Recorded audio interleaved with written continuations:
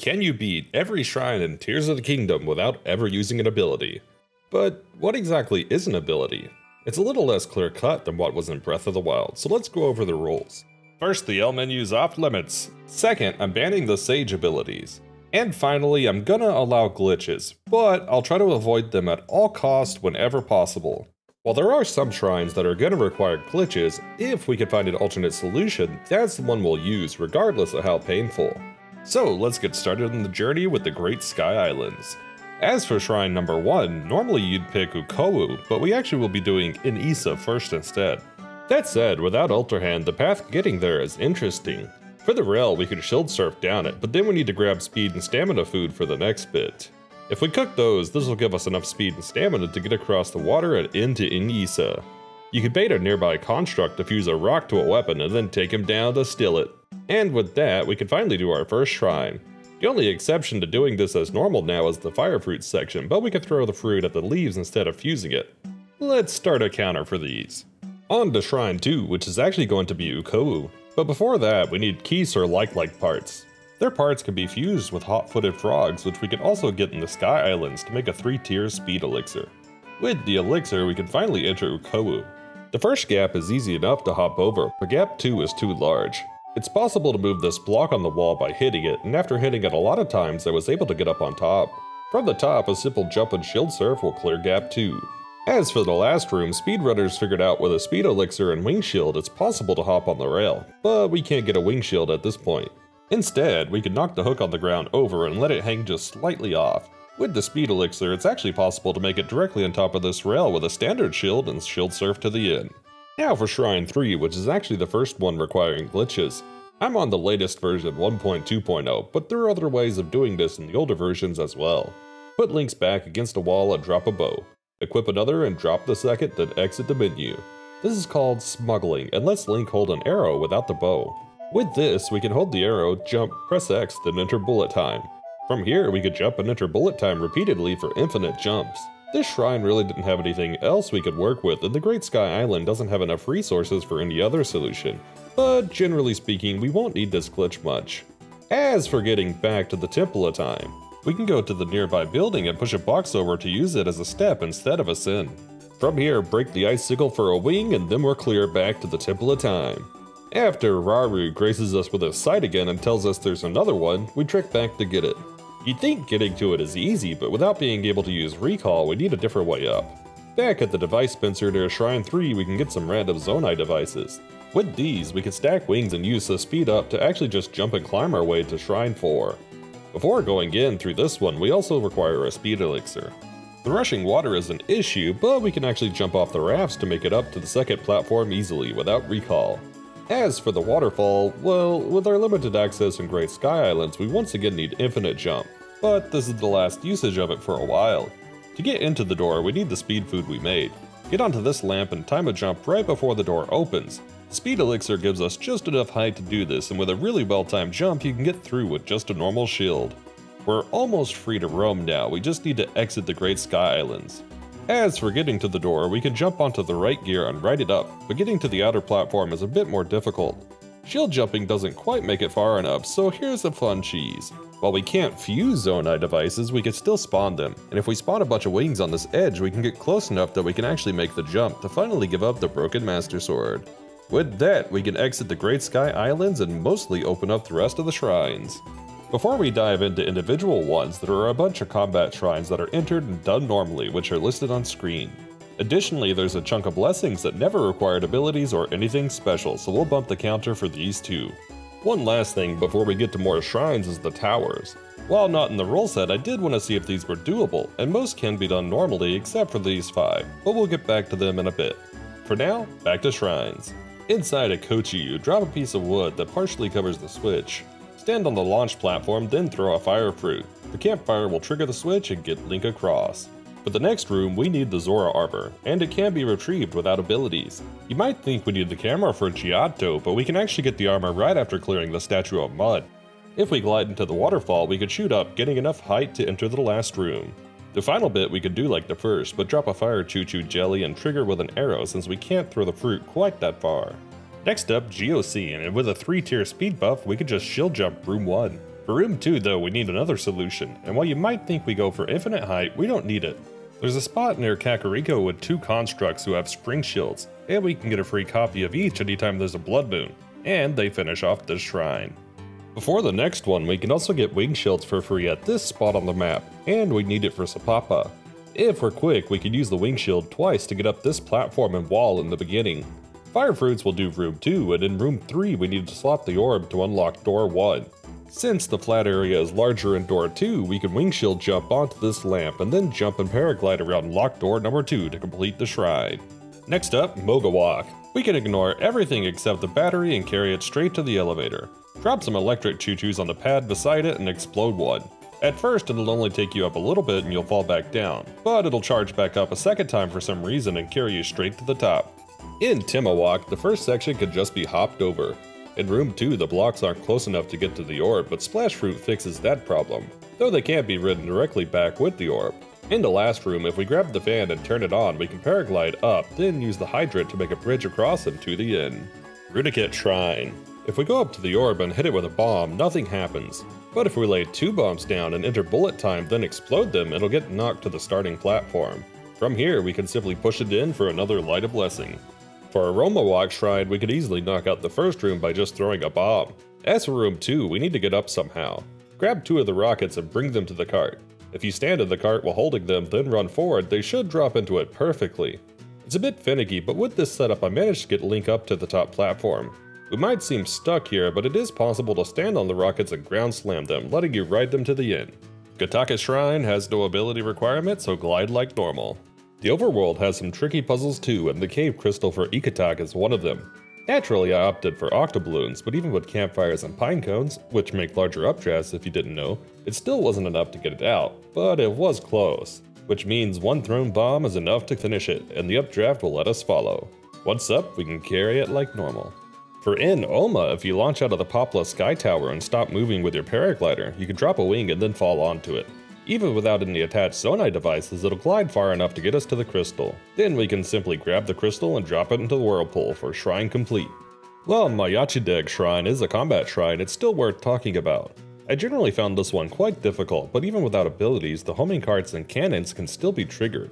We can't fuse them, but if you distract with the homing cart, you can mop up by simply holding the cannon. So, funny story about Jochiu. I initially just chucked bombs until I knocked the orb back like a barbarian. Then I thought the little platform would go up if I chained electricity over to it with jellies and metal weapons, but it turns out it actually goes to where the orb was and would have made the shot easier, so yeah, needlessly complicated due to my impatience. Oh right, rest of the shrine. You can octoballoon the orb up, then toss a bomb to get it to the top platform. Once it's up, hold some items to move it and push it to the pedestal. Over to Katawak, and you might think we need spring shields, but actually no. With the speed elixir, it's possible to just run up the first ramp till it lowers and then hop across. Aiming from the side of the seesaw on the next bit, we can hit it with an octoballoon and lift it up, then hop onto it. With the speed boost and lifted ramp, you can actually just hop up the next bit. The launcher at the end didn't get Link high enough, but that's okay. Sticking bomb plants under it will blast us up, and then we can paraglide to the end. Sutsu Oom. To start, we can hop on the spike and hitch a ride upwards. Once near the orb, I started experimenting with bomb flowers. Turns out you can get the orb stopped on the spike, letting us move over then attach some octoballoons. It should land back at the nearby platform, but it's too tricky to go directly from the goal for here, so bombs to get it on the main floor first. After pushing it near the goal, we need two bombs exactly since the goal has a roof, to knock it in perfectly and clear the shrine. Morak Shrine seems difficult, but it's actually quite easy. Once we get to the spring, we can just attach octoballoons repeatedly until we get to the shrine exit. Tukarak is another easy one. Using octoballoons, the orb can be fished directly up, and then a bomb will knock it onto the top floor. This skips the puzzle entirely, and if we're holding items, we can easily push it in the goal. Tack off another easy one with Gimmick. Dropping bombs near each candle, we can detonate them all in bullet time, and effectively light them all at once. Up next is Kamatukis, and I gotta shout out one of my viewers, Ice Cream Cone, for this. I knew that bombs or octoballoons would be the solution for knocking the orb over, but they help find the correct position for the bombs, which is two bombs side by side in the gap behind the orb. Though once it's over, it can get stuck, but we can solve that with an octoballoon. Ihan Ah. In room 1, we can use bullet time to manipulate the hoverstone positions and jump directly up. For room 2, the gaps are too big for us to do much with, but if we get on top of the metal plate and octoballoon it, we can continually place them until we're able to glide across. In the last room, the orb can be bombed across, but the angle is a bit tricky. Once it's in though, we can octoballoon the balloon, the hoverstones until we're high enough to glide across. Quick break from shrines, let's grab Rabella Wetlands Tower. While the rain is a pain, did you know it's possible to burn the spikes in it? Drop a flame emitter and keep it against a spike. As long as it's on for the time it takes to burn, it'll get destroyed, even in the rain. The first two rooms in Utsushock can be brute forced with bombs, but the last room requires another solution. Shield surfs will actually get Link across rails, and even when he stops, you can just surf again, making this one an easy clear. Which is the same cheese that I use for Geocoum. The last section looks more complicated, but you can just keep shield surfing and even drop to the lower track halfway through, as the snapping is quite gracious. In the first room with Tajikats, the log can be octoballooned to get up the first platform, but the second presents a much larger gap. Instead of the log, throw a white choo choo jelly into the water and octoballoon the new ice block. Yeah, you could ride these bad boys upwards and you know that adds a lot of power to our arsenal. You can do this for the rest of the shrine too, but I preserve some items by using the spring shield from Kamizun. Choo Choo Jellies and Zora Armor make the ending water pool an easy clear. Quick break from shrines, let's grab two more towers. At the Thyphlo Ruins Tower, there's a platform blocking the top and a single octoballoon will fish it off. They also come in handy at the Garrido Skyview Tower, where we need to raise this lift. One octo balloon at a time, repeated over and over, will do just that. The remaining towers we'll get to later. Let's talk Sky Shrines. A lot of them might seem out of reach, but if we drop a wing mid-air, we can make it to shrines like Maya Mechas. With this one, once we're there, the inside is done normally. Also in the sky is Jura Tagumak, and I spent a lot of time figuring this one out glitchless. I had a lot of ideas, but what worked was actually the carts on the left. First, I got one down to the less slanted surface. Octoballoon it and place bombs below. Before the balloon pops or gets too far, hop on it and let it fall. That's right, we got bomb launches now in Tears of the Kingdom without the rune. With some luck, this will get you high enough to glide to the end. And then we have Rossiwalk. Getting across the water we can do with Ice Choo Choo Jelly, and the following platform can be reached with an octoballoon. The switch in the ending section can't be moved with items, so instead we need to push the yellow orbs to the end. Using octoballoons to get these on the switch is finicky but doable if you throw your weapon at it and push it while in air, making it shrine complete. Room 1 and Sakuku can be done with a well-timed bomb throw to get the orb out and in the goal. Originally I just threw a bunch of octoballoons on the gear to turn it for room 2, but I found a cooler method in post. If you look directly at the gear lever and lock on, then jump, you can get up on it. From there, jump with a two-handed weapon and jump slash to get on top of the gears with the lever, and then you can climb up easily. Down in the bottom of Zanmik, bombs will knock the orbs out of the pit. Once out, move it near the back of the shrine and then get it out from under the ceiling. By throwing octoballoons at it, we can get it high enough to then knock it onto the next level with arrows. After getting back up, we can easily roll it to the pedestal for a shrine complete. At the start of Ishodag, we can actually just run up the wall and jump up. Once across the water, we somehow need to get up higher. Technically, octoballoons work, but bomb launches look cooler, so that was my go-to. Sarah to Bomek, jeez, these shrine names. Basically, for all levels, my solution was to try and get these plates propped up against the wall or a lamp. With some bombs underneath and a detonation jelly, the blast carries link up to the next spot. Only note is on the second level that instead of propping up the plate, you could just use one octoballoon then break it to fall onto the bombs for an easier launch. Rin is is quite the simple one. Trigger an orb to fall, then toss an octoballoon in front of it. With a good angle, this will clear both the first and second rooms, though the orbs behave quite strangely after they have a balloon attached and slow down. I'm not really sure what causes this. Jojon has no special requirements to enter or clear. I wanted to point it out though because I thought I couldn't get up at first, but then I found a spring on the lower floor. For Susuyai, the first roadblock is the rolling wheel section, but you can just run over it with a speed boost. As for the door, bombs will actually work in place of recall and rotate the wheel. The last room gives us a few wheels to work with and octoballoons can lift them, carrying us up. With some height, a shield surf will put Link on the rail and the path to the end. Mayachin's only requirement is hitting these targets and bombs work just fine. After a Blood Moon, we can pick up more Spring Shields, and after multiple, we can even get more than two in the inventory. Into Sonopan. On the left, we can barely stand on this wall, but that gives enough height to jump up with a wing shield. The next section requires a spring shield instead. Into the last room and with a second spring shield we can make it across and get up to the end. For Taraka Walk, use block 1 to jump up, then bombs to get block 2 by the ladder. We can't jump up to the ladder, but Octobloons once again carry us up. Instead of stopping at the ladder though, we can actually chain them to get enough height to just glide to the exit. Gosa Shrine took some creativity. Knock the first block down, then grab a barrel and carry it to the next section. If you set it just on the edge of this metal block and need a 3-tier speed boost, you can get on top and jump to the next section. That speed boost also lets us clear to the next section where we need to substitute for Ultra Hand. How about a bomb? Throw it at the top of the chest and it should knock it back to the platform to get the key. The last room we can use a similar strat, but it'll only swing the orb instead. Cutting the rope with an arrow will let it keep its momentum and get it onto the ground. From there we can push it into the pedestal and get another light of blessing. Sadaka walks up next, and this one really stumped me at first. I thought I'd need to do something with octobloons, but I had an epiphany after a bit that I could just bomb launch off these wooden plates. That gets us up, but we can't use bombs to trigger the switch for the next room. Instead, we can octoballoon one of the actual balloons into position, then put a piece of wood in it to carry it up. As for the final room, we can throw octoballoons at the orb, and then a bomb once it's high enough to knock it into the pedestal. Kyu Yo-Yo might seem like a massive pain if you know this shrine, but it's actually quite easy. Using octoballoons, we could roll the ice block in the first room towards the switch. While you'd normally need the plate to keep the fire from melting the block and leaving the door open, we don't actually need to leave it open. If the ice block presses the switch while we're at the door, we could slip through before the fire melts it away. Kikakin's floor plate can be lifted with an octoballoon, but otherwise it's done normally. The first gap in Murakagook might look too far to cross glitchless, but with a speed boost and an octoballoon we can land on the bridge instead. For Lava Pit 1, we can position the first machine to get across, and for 2, we can make a walkway with Splash Fruit.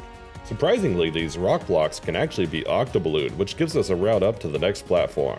For the last room, we can lift the balls, so throw them in and clear like normal.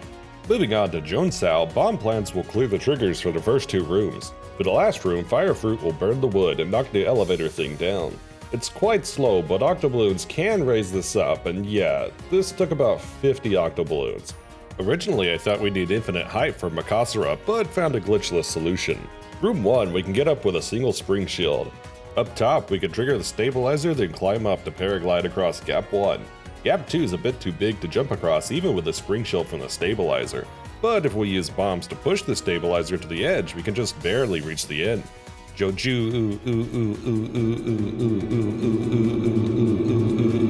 Octoballoon the fallen bridge, drop some bombs and get on top. The launch will blast you up and you can glide to the end. Ryegok was the first shrine I thought truly impossible, but I proved myself wrong and we can even do it glitchless. Start the gear and get on it by jumping onto a tooth near the wall. This lets us glide over to the stationary gear and land in the small window. Throw a bomb at the gear axle and Link's ragdoll will let him slip between the gear and wall, getting to the next room. We need vertical height, and you know what that means. We can use the cylinder at the bottom and climb on it to get to the platforms, then each platform can be ballooned directly up and to the end. For Saha Road, there's one spot you'd normally need a Sin, but a Spring Shield will do the trick. Apparently it's normal to use a Sin at the end of this shrine, but I never did that in my standard playthrough since you could just jump through the lasers at the very end of this section. Mostly we've had issues inside a shrine so far, but Ijo-O looks like we might not be able to get to it. That said, if you drop a wing mid-flight and land on it, you can indeed make it over. I wanted to skip the shields on this one, so use a campfire for the ice and a well-timed jump to get over the fire. As for the end, we aren't given a rocket shield, but if we stack rockets back near the fire section, it is possible to just jump on top and ride one directly to the end. For Abagak's shrine, we can place some bombs down to launch the orb from the first platform over to the pedestal. And for room 2, we can use the wing for a bomb launch, letting us glide to the end. Katana Cease, we can reuse the bomb on the trigger strat and then spring shield up to the end. I actually had a really cool strat for Jochi Ihiga and was going to use Ice Chuchus to make a bridge for the crystal, but then I realized it's possible to just carry the crystal across land to above the shrine then drop down. You'd think Sabajitak would be as simple as a few spring shields, but if we jump from below we can't make it with a spring shield. We can still do it glitchless though with a pretty precise spring shield jump from the entry getting us just barely onto the middle platform. From there, a couple more spring shields will get us to the end. Some Sky Island shrines like Mogasari can't be reached with wings and we can't fuse machines. Luckily there's a pre-built one on a nearby island. Operating these don't require abilities and lets us get just enough height to reach the shrine. As for the interior, you can basically just jump between platforms and solve as normal. Oshapin is a cave blessing but actually presents an issue. We need to get this crystal over lava and while you might normally use a machine, there is a hydrant nearby. If we slowly carry it and build a bridge, we could then carry the crystal across and unlock the shrine. Gomizuin might seem like we need infinite height, but spring shields save us again. By landing on the lanterns and jumping again off the edge, we can make it to the top.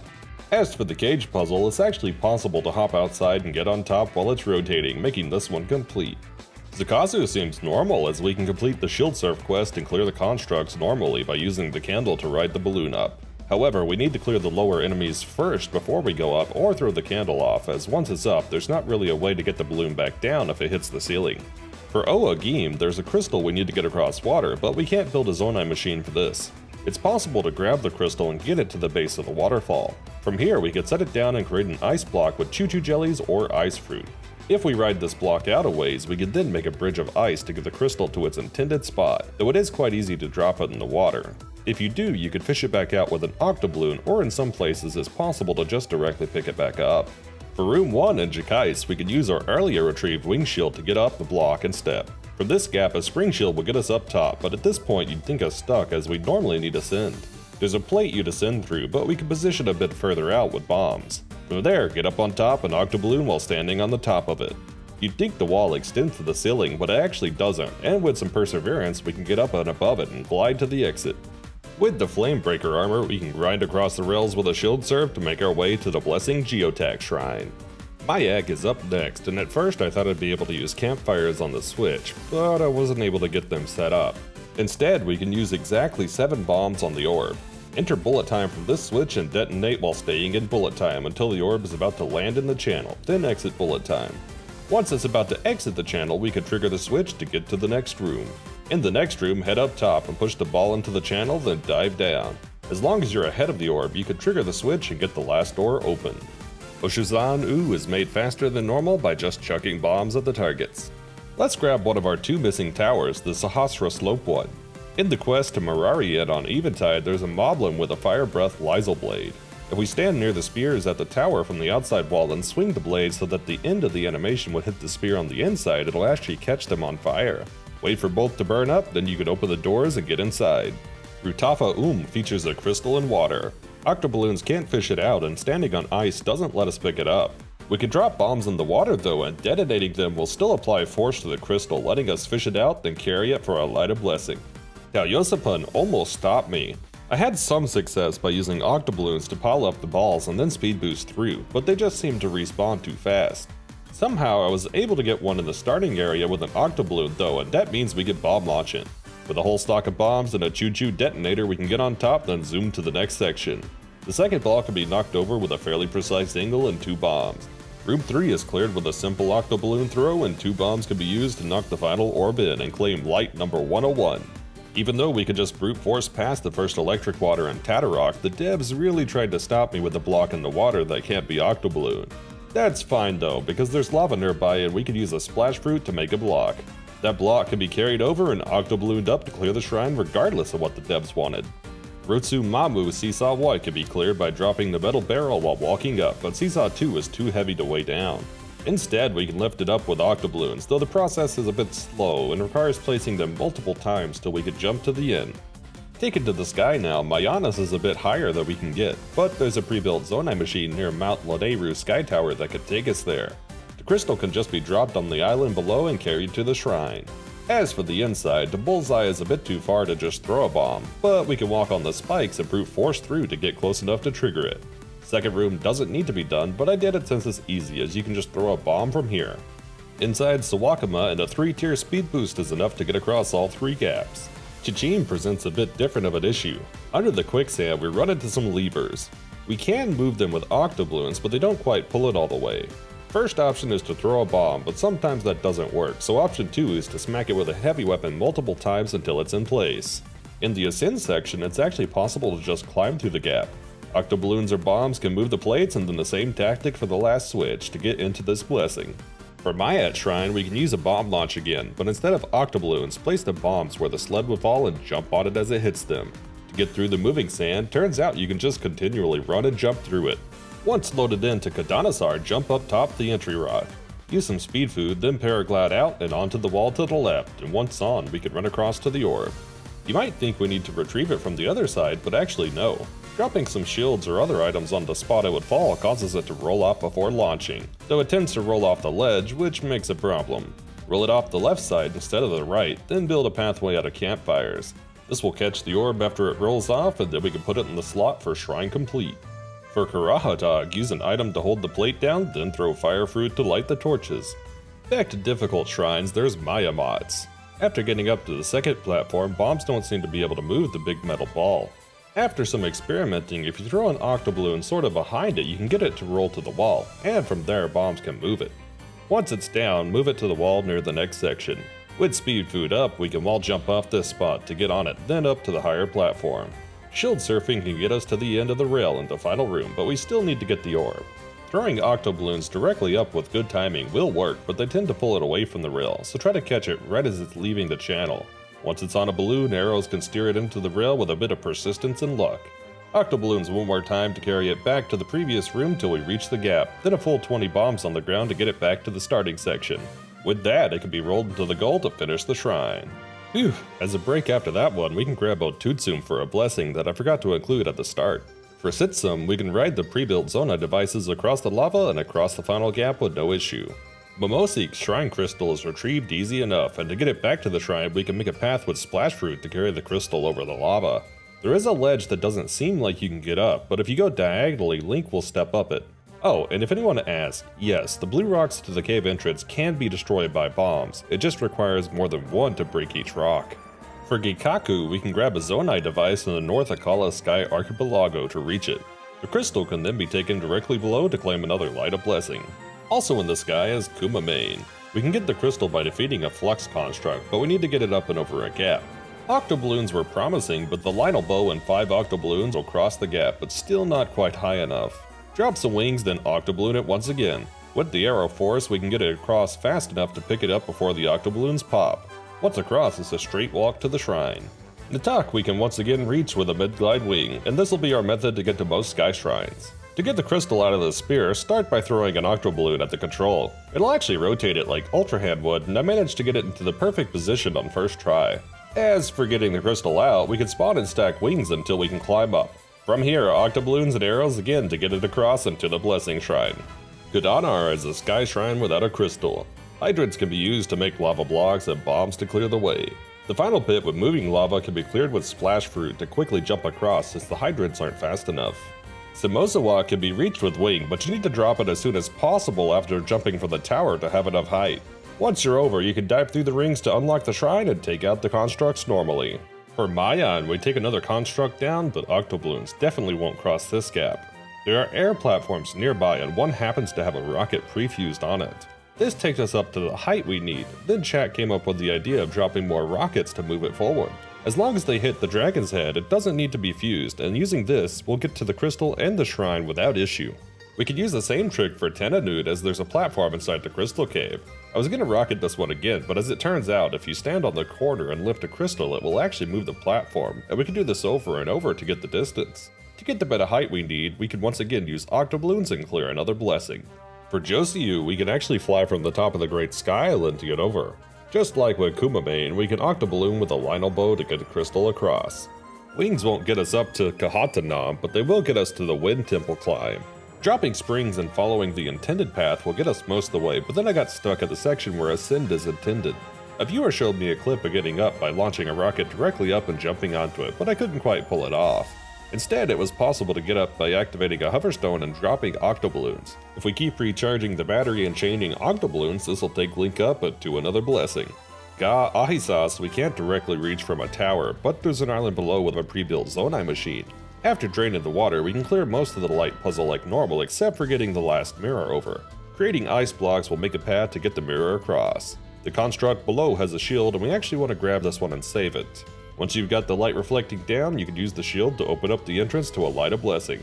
We can use the same Zonai pre-built device as last time to get up to Mayasiar and solve the puzzle like normal. Once again using the same device, we can pick up the crystal from the Flux construct and fly upwards. Landing the crystal on the above island does prove difficult though. I found that exiting when you're just at the island's height makes preventing it from falling off much easier. And the same pre-built device can once again be used to get to the diving challenge for Todhi, making it an easy clear as the inside doesn't require abilities normally. Siamotsutsu appears to be a blessing but isn't so simple. At first, I thought this would be quite difficult since I couldn't reach the torches by throwing fruit. But once again a viewer came to aid, reminding me we can light arrows with the candle. And with that, this shrine becomes simple, banking us 127. Rakashag is another light-based puzzle, but this time inside the shrine. The shield we got from Ga Ahisas lets us clear room 1 easily, but room 2 looks like a showstopper. We have access to two mirrors, and it's possible to stack them in front of the gate. Once stacked, we can use a two-handed weapon to jump slash up top, jump slash again to the top of the door, and then jump onto the railing. From here, we can get through the window and behind the gate. As for the light, well that's still an issue since we can't just use a shield or another mirror. With Link facing the gate, drop a few shields, then drop the mirror shield. With the right positioning of shields and some luck, it should stay at the right angle and unlock the gate. Carrying the light into the next room with mirrors, we can get it directly over the ground plate. Then octoballoon a mirror from ground level and use arrows to position it to unlock the last room. The last room can be done as normal if you take down the constructs. Whew, that was a rough one. Let's do an easy one after that. Jitta Dock, where we could use octoballoons and arrows like we done previously for an easy clear. Ukujisi has quite a long distance to clear and looks very problematic. Luckily, there's an air platform below though, and we can pilot it to the crystal and then carry the crystal with rockets to the shrine. For Yonsabine, we can start from Joseiu and find a pre-built balloon lattice. This will get us the height to reach the island combined with a wing. Once on the island, the pedestal unlocks wind drafts that gets linked to the top, and then we can dive through the lasers normally. The interior is mostly normal, but we have a single construct just out of reach. This is where I found out that rockets can actually break this stone, and I hadn't discovered that until now. With the last construct clear, we bank blessing number 131. Tin Biz was ultra easy, enable low gravity and all targets can be cleared by a simple bomb throw. For Igashon, we can take a pre-built lattice from near Mayanas and make it to the water temple and shrine. Honestly, I'm pretty proud of the discovery I had here. If you stay in the first water bubble till the moment it's about to disappear then glide, you can get up on the platform without ever getting on the middle step. Yeah, I didn't expect that to work either and thought I'd need a spring shield originally. For the ending, we can octoballoon this plate and catch a ride to the end. Utojus Shrine, originally we were supposed to fuse, but that's off limits. The devs thought they were all clever wanting you to fuse, but they forgot about their own rock Octoroks. Rock Octoroks can reroll the modifier, and for these spears we can get long throw, which means we don't need any fuse to throw through the hoop. Once again, grab a pre-built machine from Mayanas, this time to fly to Siajog. And besides using Zonai charges, the rest is cleared normally by diving through rings. Jokuo is also no trouble. Despite the clouds over the Thunderhead Isles, we can reach it with our wing if we know the coordinates. Inside Orochium, and this time we'll need a chunk of spring shields. You can jump onto the wall beside the gate, and then from that wall to the top part. Fall down and trigger the laser trap intentionally, and then once again use a spring shield to get up to the chest. This is where we would be stuck without a sin, but since the game saves the key in your inventory, you can simply exit the shrine and go back in. You'll have the key and then can make your way back with the spring shield and unlock the orb. The small gate can be opened with a bomb and then the orb thrown through. As for getting the second one open, it's much easier to just octoballoon the orb over the wall and then spring shield out. Put the orb in the pedestal and that marks shrine complete. For Suryotanag, we need to bait an enemy to use a Korok from before we go in. This lets us get the one wind blast we need to free the fan, which can then be used to clear all other sand piles. If we take a fan by the ledges we would normally ascend to, we could set them down. A shield surf will knock them over, then we can get up with the updraft. From here, we can set the light on the bottom pointing to the main room. The fan in this room can then be used to get back, and then we hit the problem of how to get the light to the exit mirror. The mirror in the room didn't seem promising till I found that the shields have collision with them. So if we drop a shield, then place the mirror on top of it, we can get just the right angle to reflect the light and open the final door. Next up is Tarakamik. For the first gear, we can stand on a tooth, then throw a yellow Chuchu jelly to activate it and get up. As for the second section, a spring shield does the trick, and for the final door, another jelly gets it done. Karakat Shrine. You'd think this one impossible without Ultra Hand. It took a lot of experimenting, but one of my viewers had a great idea of using a hoverstone. If you get it in place, it'll hold its place, but even better, if we octoballoon it and rotate then activate it, the octoballoon will carry it up while the rotation stays the same. And as it turns out, you don't even need the shadow to be that accurate for this to unlock. Though there's another shrine quest we won't get off the hook so easily, namely Joseiu's.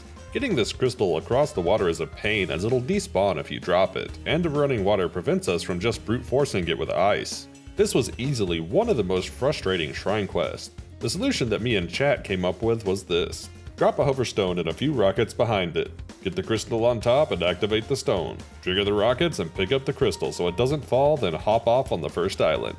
Ah, on Island 2, stack Zonai devices, mostly wings, to get a sort of short dock to get a better shot at the next island. Once far enough out, octoballoon the crystal and multi-shot it over. From here, the same hoverstone and rocket trick will get it almost to the end and then octoballoons and a bow again to finish the job. Wow oh, Os we can do quite easily. Jump across and throw bombs to trigger both triggers, then spring shield to hop up both sections. If you've done all the shrines, you've probably been waiting to see if Korok Forest was possible, so let's tackle that now. If you jump out of the nearby tower and memorize the coordinate location of Sukumbo Mar, you can dive and manage to unlock it just before the fog voids you out. The downside is that even if we teleport back to it, the game still voids us out. Credit to Fishman or Fishy for this next bit. Down into the depths now to Recognosum Light Route. Smuggle a bow would go to 490 2151 under the Deku tree. We could use the infinite jump to get partially through this edge in geometry, then shield surf to pop Link inside the wall. From here, it's hard to navigate since you can't see the walls, but head towards the pedestal you're intended to ascend to, then towards the Deku tree. Once there, climb up and fall down the gap. This will put us near the chamber where we normally fight Gloomhands and Phantom Ganon, and you can actually hit them from out of bounds. It does take a lot of arrows, but you can clear the fight. Once the cutscene triggers, you'll be popped in bounds, but unfortunately, getting up is still difficult. This is where the quick warp to Sukumbo Bar comes in though. Now that the gloom is clear, we can teleport to the shrine and navigate Korok Forest without issue. We can actually use the same clipping technique to get out of bounds and up to the Gerudo Highlands Tower. On the left side, it's possible to get an autosave near the entrance, and if you reload it, you'll be popped in bounds, meaning we actually did manage to unlock every Sky Tower without abilities. Now that we can enter Masonic here, we can clear the first gap by lifting the bridge with an octoballoon, then jumping. The rest of the shrine is cleared easily by just throwing bombs. Sukumbamar, Papunk, and ninjas can all be done as normal now that we're in the forest. For Isasim, let's go to the Unaboko HQ cave. It's possible to jump out of bounds, just like in Korok Forest. Unlike there though, even if we glide to the shrine, we can't teleport or get popped in by a cutscene. Instead of that, we can walk up a gap in the geometry and with enough stubbornness, the game will give us an autosave. When it does, reloading it will put Link back in bounds, letting us enter the shrine. As for the inside, it's a proving ground, so most of it's done normally, but getting up past the first layer required me to get some speed food so I can make a jump up this wall to get to the top portion and fight enemies. Mayasi was honestly really frustrating and took a large amount of time. Basically, we have two rooms where we need to move blocks to match the shape on the other side. The first room can be done with octoballoons to flip the blocks little by little and bombs to get them into position. But room 1 is just a warm up as room 2 is the real issue. We don't just have L-shaped blocks, and the positions we need to get them in, well, to be frank, they suck. The trick for the first Z-shaped block is to get the other blocks near so they can prop it up once you've got it part way. Then, with them as a base, you can carefully put it into position. If your rotation is off like mine was, you can hit these with a weapon to very slightly rotate and move them into place. As for block 2, I'd go for the L shape, and we can use our tricks we've learned thus far to get it in. The corner block though, we aren't left with anything to prop it up and the metal barrels didn't really help either. How I finally managed to get it into place was by using two octoballoons and using the wind from a Korok Frond weapon to push it in. I'm terming this Octoballoon Tetris. Four left and the hardest of all, 149 and a Demimic Shrine. If anyone is looking into doing this in the future, I suspect there's a spot at the top you could clip. And while I couldn't find a clip here, it would probably be a lot easier than my solution. So instead of that, I opted for trying to recall the ball without recall. And by that I mean octoballoon it into the pedestal. Turns out it is possible if you shoot it with arrows in midair, it's just extremely difficult and takes a long time. Alright, so Jichisiu. I have to give a shout out to Drengodr for this one. I knew it was possible to octoballoon these in, but he helped me realize that these could be shrunk down more than you'd expect. One aside is that I found it a lot easier to throw wings on the ground because if you drop an ice block while moving it up, it'll slide back to the water. But the wings stop this from happening. With our earlier fused Korok Frond and some perseverance, all three go in, giving us blessing number 150. 151 Joku Usin is a shrine encased in walls on every side with no way in. You might initially think we're blocked, but the speedrunning community came to my aid. I wanted to shout out Puke from the Discord here. As it turns out, if you smuggle and infinitely jump, you can clip the underside at the coordinates 1096, negative 3355, though it is very difficult, especially with the clouds we can't clear. Once inside, the camera basically doesn't work, but if you can manage to find this spot, it is possible to clip upwards one more time, but it's even more difficult than the first clip. From here, we're still technically underground, but moving will get an autosave and that save will put us on the ground level and into the shrine, which can be cleared with ease. And for the final, most hardest shrine, Kisinona. This one took me a long time to figure out and has no potential of working with the fan Zonai devices. So, here's the solution. Drop 5 bombs, move, drop 5 more. Do this 4 times, then trigger them with an arrow. Ta-da! Shrine complete! See, you probably wouldn't notice this if you threw a bomb at the fans as the particles and sounds covers the fact that it's actually rotating. But if we put a bunch down, now you can notice it, and that realization took me 12 hours. Thanks game! With that, every shrine in Tears of the Kingdom has been completed without any runes and a fairly low amount of glitches too. I just wanted to give a huge thank you again to the speedrunning community and everyone who viewed and helped on Twitch. Fishman in particular was extremely helpful and helped me solve or make easier a non-trivial amount of shrines, so extra large thanks to him. Drengodr was actually doing the same run as me during my run, and we only found this out right before I finished, so if you want to see his perspective with slightly different rules, go check him out. If you're interested in more out-of-the-box runs, you might enjoy this Breath of the Wild No Jump Challenge, or maybe come over and watch one of my runs live on Twitch. But for now, we'll go pick up another game, and if you're interested in what's next, drop a follow here. I'm Glitch the BoxLynx, and I'll see you in the next Out of the Box Challenge.